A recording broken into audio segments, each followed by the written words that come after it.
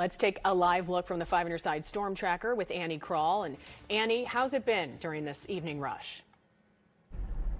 Well, and we've been on the roads all day. I know we started over a little bit farther west. We were over in Wentzville, and then of course we made our way over to St. Charles, and now we are all the way over here east in St. Louis County. And I want to show you what I'm seeing on the roads right now because folks are getting all the way home. It's starting to snow a little bit less. I can just see the snowflakes have gotten just a hair smaller. In fact, over in Wentzville they were much bigger. But right now, a little bit after six o'clock, it's going to be a little bit hard to see right now. But of course, it's darker, and I want to give you a little bit of updates because because we were talking to snowplow drivers earlier today, not only just in St. Louis County, but over in St. Charles County. And I want to talk about the St. Louis County folks first. When they have to do their snowplows, they have 112 snowplows in St. Louis County that are out and they're plowing these roads to try and keep everyone safe.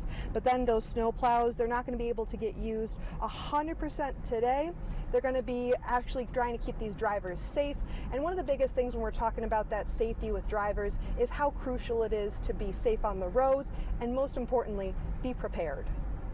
Make sure that your car has a full tank of gas. I just gassed mine up on my way here, but that also you've got some essentials in your car. Make sure you've got a blanket. Make sure you've got some first aid and emergency supplies. And if you, for some reason, need to be on the roads, um, traveling into or through areas of bad weather, make sure you've got some essentials bottles of water, medications, and other things that you might need. Now, absolutely. And like I was saying, we are still in St. Louis County, and the American Red Cross is talking about how important it is to make sure that you are prepared. Let's look at the roads right now. It's going to be just a little bit slow. Things are moving, which is good. It probably isn't as bad as a lot of folks were expecting. When I was over in St. Charles County, they were talking about the fact that they are still in the need of drivers. St. Louis County, where we are right now, also still in the need for drivers. So if you are interested in being a snowplow driver, that still is an opportunity. But these roads are looking pretty darn good right now. I'm not. I'm I'm not too worried about it, but of course they are slick. The snow is still out and about, so you have to be very conscientious when you are driving home, or if you're trying to make plans, it might be better to maybe reschedule. So that's the thing that we want to make sure that we keep in mind while it is the winter weather. Reporting live in St. Louis County, Annie Crawl, five on your side. Annie, thank you. Let's get to Paul Cook, our traffic expert from our Today in St. Louis team tonight, watching traffic all over the bi-state. Paul.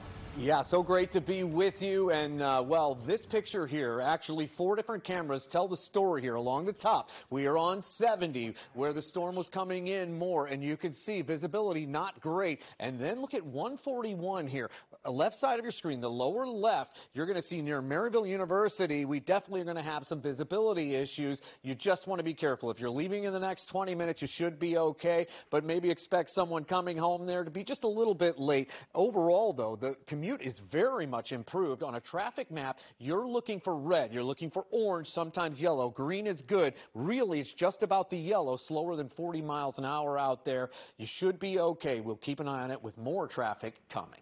A reminder, you can catch our forecasts and newscasts on your schedule on the 5 Plus app. Download it for free on Roku, Fire TV, or Apple TV. Just search KSDK in the App Store.